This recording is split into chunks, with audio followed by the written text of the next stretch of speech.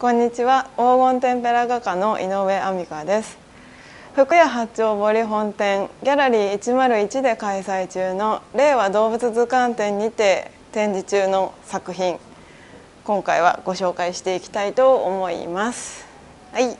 というわけでえっと今回はですね連作で展示している作品が実は3作品あるんですね、まあ、こちらも今写しているものとこちらの2点ですね猫ちゃんでこちら3点目鍵穴から覗いてる猫ちゃんなんですけど、まあ、今回の動画ではこちらのね作品を紹介していきたいと思います。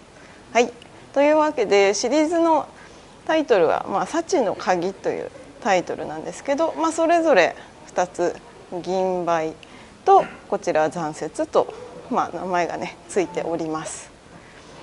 でこちらなんですけどねこう、まあ、展示のスタイルとしては今置きで置いて展示してるんですけれどももちろん壁面もねいいと思います飾る時には。あの紐がねこんな風についてますんで、まあ、壁面に画鋲でねプッシュピンなんか刺していただいてそこに引っ掛けてもらって飾っていただくこともできると思います。ただ個人的におすすめはちょっと置きですかね。やっぱり置きで飾ってもらうのが一番かなと思います。ね。こんな感じでもう自分で手に持ってもすごく軽くてとにかくね小さい作品です。鍵穴からもこちらを覗いている猫ちゃんですね。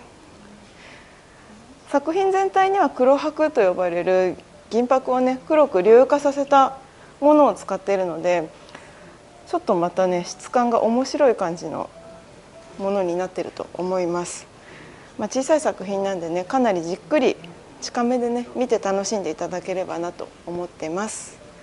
はい。こんな感じでね沖でいかがでしょうか。でこのあの額立てもね一緒にお付けしてます。はい。というわけでこちらの作品のお問い合わせは福屋八丁堀本店ギャラリー101までお願いいたします。井上亜美香でした。